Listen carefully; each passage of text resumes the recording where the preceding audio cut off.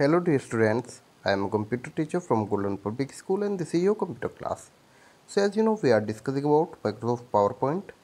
In previous class we discussed how can we insert tables and smart art in a PowerPoint presentation.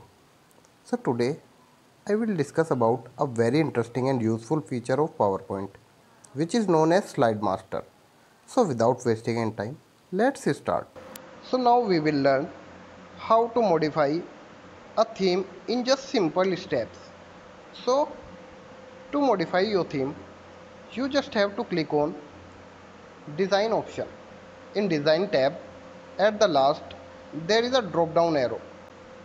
So after clicking on drop down arrow, it will show you some functions like you can change the color of your theme as per your need so you can choose any color but if you want to make a custom theme so you can easily make it. So to make a custom theme for your personal use so you can do it very easily. So to do this just click on drop down arrow. In color group there is a last option of customize colors. So you can customize your color for your theme after customizing choose a name for your custom theme and click save. Second option is of font. Select a suitable font or you can customize the font just like we customize colors. Now select a font and choose a suitable name for this font. Now click on save. So it will save this font as a default font you can also change the background color. Just click on drop down arrow and select a background color for your theme. After selecting now your theme is ready. Now you just have to save this theme. So to save just click on drop down arrow in themes group and there is the option of save current theme. So you can save this theme as a default theme. So it's done so i hope this feature will help you a lot. So now we will learn how do a slide master works on a powerpoint presentation.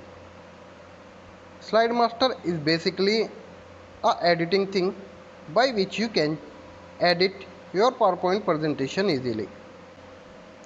For example if you want to do any change in your whole presentation so you have to do the change only at a single place and slide master view will do the same change in your whole presentation. For example if you want to insert a logo at any position on your slide so you can insert a logo with the help of slide master. So when you will insert a logo with the help of slide master so slide master by default show that logo on your each slide at the same place. So now let's take an example. How can we insert a logo of a company on each slide? So you have to click on view tab. After clicking on view tab you can see there is the option of slide master. So whenever you click on slide master so it will open slide master view for you. So you can see it is showing different slide. So the first slide is the main slide will make any change in that slide. So that particular change will be shown on all the other slides also. So to insert a logo you just have to insert it just like we insert any picture in our normal slide. Just click on insert tab and pictures. Now select that particular logo and click on insert. So it will insert that logo in your slide now resize it and adjust it at a particular location. So it's done. Now slide master view will show that particular logo in each slide. So just close the slide master view and you will see the output. You can also make some changes in font size and you can change the font style also. So it will make the change in all the other slides also. So now close slide master view. And you can see the difference. Fonts are changed. And you can see the logo at the lower right corner. But there is a problem. You can see the logo is hiding beside the image. So we have to fix that problem. So to fix this problem you have to click on that particular slide layout. Now you can see it is the same layout in which we want to do some change. So now we can change the position of image and text. So if I will paste the text at right position and the image at the left position. So then our logo will be visible. So now I am going to select all the data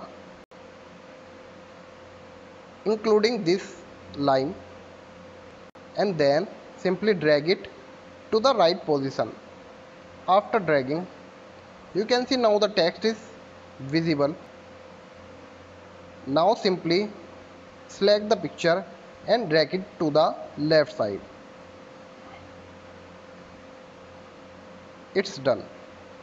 So now just close the slide master view. Now you could see that the logo is visible now. And the slide is also looking very attractive. So this is the use of slide master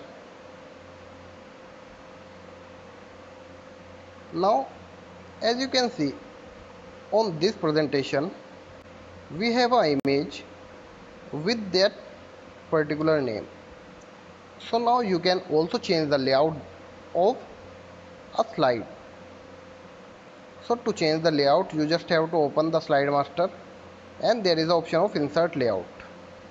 So after clicking on insert layout it will show you a by default layout so you can make some changes according to your need. Now I am going to fix that text at the bottom. Now you can see there is the option of insert placeholder. You will see different options. I am going to choose pictures. So after selecting picture it is showing a cross so it means you have to draw that position for your picture. So I am going to draw a position for inserting a picture. So now it's done. So now you have to save this layout as your other layouts. So to save the layout you have to click on slide master and it will show you rename. So just click on rename and you can type a easy name. Click on rename.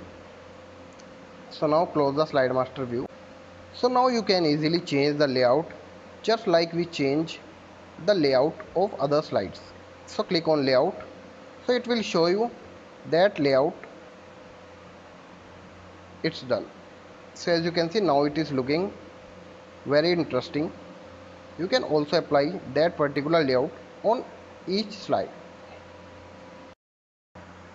Now you can also save this theme as a default theme save this theme as a default theme you just have to click on design option. In design option click the drop down arrow. And you can see at the last there is the option of save current theme. Just click on this and choose a easy name for your theme. Now click on save. So it will save your theme as a default theme. So you can use this theme in future in any slide anywhere. So i hope this feature will help you a lot. So i hope it's clear now. So that is it for today students. Stay healthy stay safe and thank you so much